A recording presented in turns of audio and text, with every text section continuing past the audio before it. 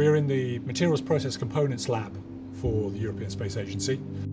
Within this laboratory, we worry about any materials, processes, and electronic components that are used to build spacecraft. Work coming through these labs will represent every project that ESA works on. Samples will come through this lab in one way or another, whether they're, printed circuit boards or electronic systems, structures, mechanisms. Bits will come through these laboratories and we will evaluate them.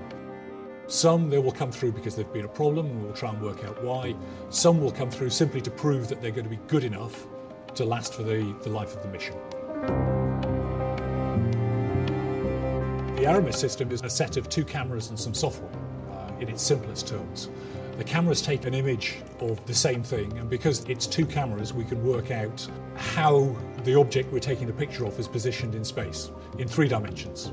And that allows us to see, one, how the object's moving, but also how the object deforms, because it's not just a wheel turning, the wheel is actually deforming. If you put a weight on something, it will move. And what it allows us to study is how things move when we load them up.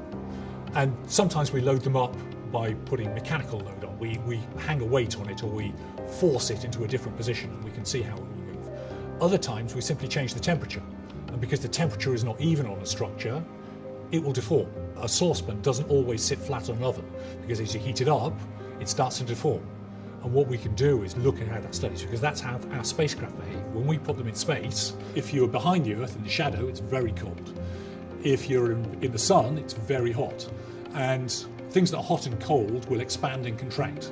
And so you find that different things expand and contract in different ways, and that you end up with a lot of strain in the system. And so what Aramis allows us to do is look at an entire structure and work out exactly where the strain has been taken up and work out where it's going to fail. That's, that's what we're interested in.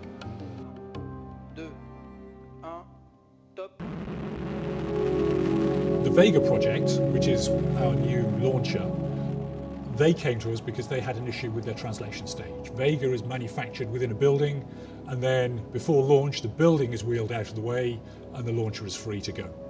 This infrastructure is in South America. It's in the French Guiana. That's where all the European launchers are, are launched from. It's close to the equator. And um, this, this big uh, uh, infrastructure is moving on wheels, like a train. So it has wheels and, and rails. And um, the Aramis was involved, in particular for one problem we had with the bearings, which, which after a couple of years of usage were uh, degraded such such a extent that actually we couldn't translate the, or move the gantry anymore. So we had a number of bearings were failing, and we weren't sure uh, where this extra load was coming from. So we posed the problem to the Adrian and the guys here in the lab, and they came up with a solution. We came up with a possible solution, and we needed to demonstrate, to prove to them that the solution we were going to suggest was really going to work. Uh, so what we did was take a bicycle, the, the bicycle I cycle to work on, in fact, and we ran a demonstration here where we showed that with a bicycle, which was a little smaller than their wheels, but had exactly the same concepts involved, and we showed that on a bicycle we could measure exactly the things that they wanted to measure. Then went down to do a, second proof of concept in Guiana with the equipment, showed that it was really going to give them the information they needed before we went into the final test campaign.